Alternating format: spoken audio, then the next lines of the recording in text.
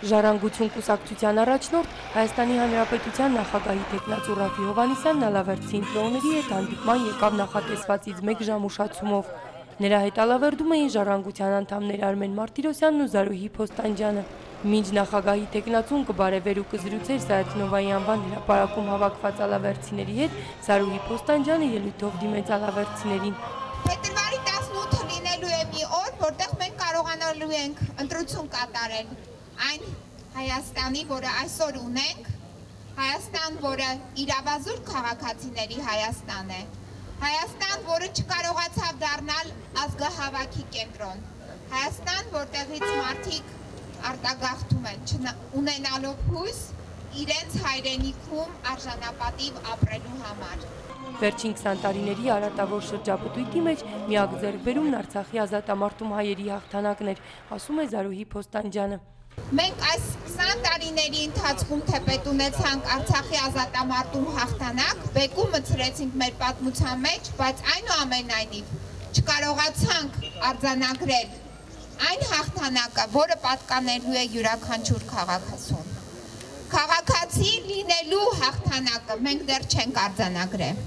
ոչ ոք իրավունք չունի զրկելու Հայաստանի Հանրապետության քաղաքացուն ընտրելու սահմանադրական իր իրավունքից։ Իր ելույթով ալավերցիներին դիմեց Ռաֆի Հովանիսյանը, կոչանելով բոլորին մի մարդու նման մասնակցել ընտրությանը։ Պետությունը մշտապես պետք է պաշտպանի գյուղացուն, փոքր բիզնես ունեցողներին, այլ ոչ թե անընդհատ խեղդի։ Ալավերդին պետք է տեսնի իր արժանապատվության օրը, ասաց Թեկնածուն։ Մարդիկ կարող են իմ նկատմամբ փոքր ցեխեր արձակել, իրենց քննադատությունը դալ, կարող են դալ, եւ դա իրենց իրավունքն է, ողջունում եմ դա։ Ամեն մեկը մեր գլխի վրա դեղ ունի, մեր բոլոր նախագաները, նախկին եւ ներկա։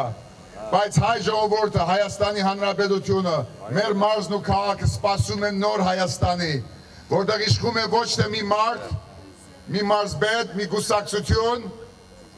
օլիգարխիա, այլ իշխում է օրենքը եւ օրենքը գիրառվում է բոլորիս վրա հավասար, ինձնից սկսյալ Ժողովրդի մեջ միայն վախի մթնոլորտի վերացման դեպքում կարելի է ունենալ նոր Հայաստան։ Իր ընտրվելուց հետո մեկ տարվա ընթացքում կավելանան կենսաթոշակները կրթության եւ գիտության, առողջապահության ու պաշտպանության ոլորտներում 50%-ի չափով կավելանան ներդրվող գումարները, խոստանում է Թեկնածուն։ Ռաֆի Հովանիսյանի ղեկավարած Հայաստանում եւս 180 հազար աշխատատեղ կլինի։ Հայաստանի քաղաքացին այլևս աղքատ չի լինի ու ստիպված չի լինի բռնել արտագաղթի ճամփան։ Նրա ուզած Հայաստանում հայը պետք է միշտ հայրենիք վերադառնա թող նախկին նախագահները չխոսան այս նախագահի վրա, որտեղ իրենցից սկսել է արդակախտը,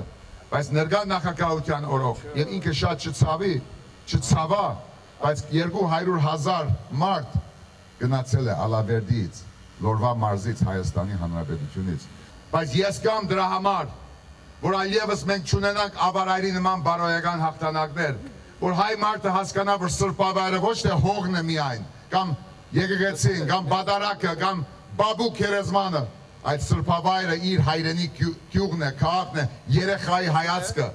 Ալավերդում եւ Հայաստանի մնացած քաղաքներում պետք է վերանան խոպան ասվածը, անհայր հարսանիքները եւ հայրն իր հայրենիքի կենացը պետք է խմի հենց իր տան ներսում, ոչ թե հեռուներում, ասում է Ռաֆի Հովանիսյանը։ Ալավերդի ընտրողների հետ հանդիպումն ավարտելուց հետո նախագահի տեխնացուն շարժվեց դեպի Ալավերդու քաղաքապետարան։ Նա եղավ հանրապետական կուսակցության նախընտրական շտաբում, որտեղ կարճ զրույց ունեցավ Լոռու մարզպետ Արթուր Նալբանդյանի հետ։ Ռաֆի Հովանիսյանը մի քանի բառ փոխանակեց նաև քաղաքապետարանի շենքի մոտ կանգնած մի քանի գյուղապետերի հետ։ Այնուհետև հանդիպեց Ալավերդու քաղաքապետ Արտավազդ Վարոսյանին։ Հայաստանի Հանրապետության նախագահի տեխնացու Ռաֆի Հովանիսյանի նախընտրական հանդիպումների հաջորդ կանգառն Օձունն էր, հետո Վանաձորը։